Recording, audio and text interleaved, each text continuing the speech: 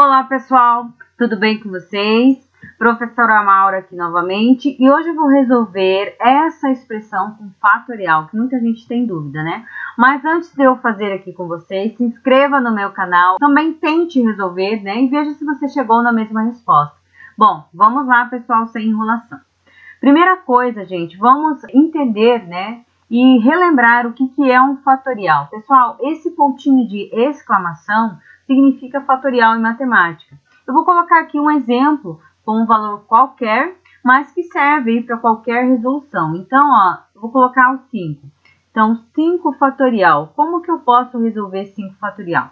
A gente vai decrescer até chegar no 1, fazendo é, multiplicação entre os valores. Então, vai ficar assim, ó.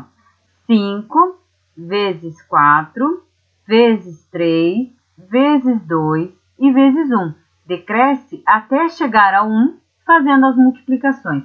Bom, fazendo essa continha, pessoal, 5 vezes 4, 20, 20 vezes 3 vai dar 60, 60 vezes 2, 120 vezes 1, 120. Então, nós temos que 5 fatorial é o mesmo que 120.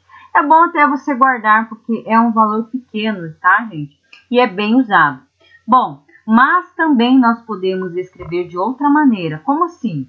Por exemplo, nós podemos fazer assim, ó, 5 fatorial, eu posso escrever também como 5 vezes 4 vezes 3 fatorial. Eu posso parar onde for mais conveniente. Por exemplo, numa divisão, como é o caso aqui dessa expressão, é, o mais conveniente é sempre parar quando nós olhamos para o denominador e vemos aí um valor, né? No caso, vamos dar um exemplo, se tivesse 3 fatorial embaixo, né, no traço de fração, eu poderia simplificar aqui com o 3 fatorial para ficar mais fácil a resolução. Então, eu posso parar onde for mais conveniente para mim.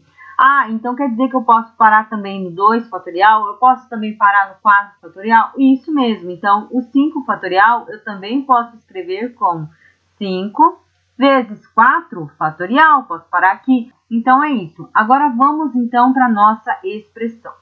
Bom, aqui, pessoal, nós temos, ó, dentro desse parênteses, raiz quadrada de 9 fatorial e ainda, ó, nós temos fatorial aqui por fora, né?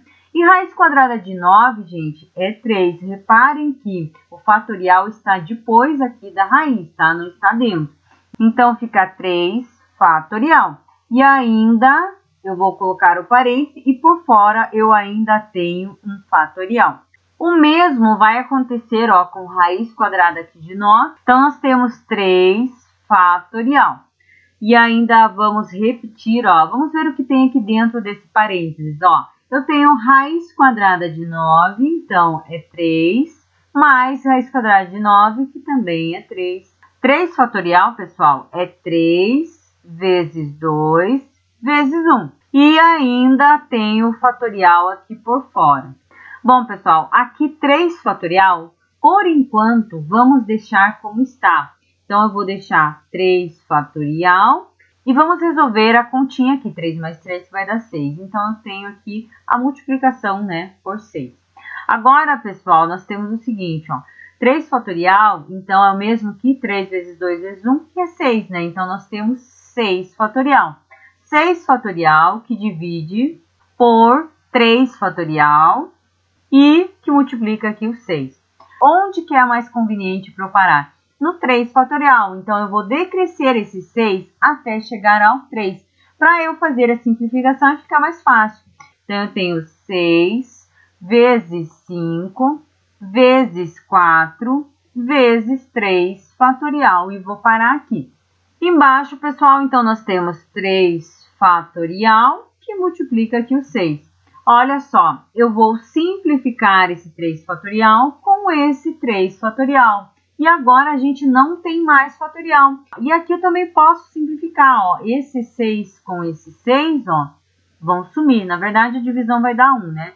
E ficando somente, ó, 5 vezes 4. E 5 vezes 4, pessoal, é 20. E é a resposta aí da nossa expressão, tá? Espero que vocês tenham entendido é, fatorial, que é um conteúdo aí que muita gente tem dúvida. Espero que vocês tenham gostado. Até a nossa próxima aula, então, até o nosso próximo vídeo.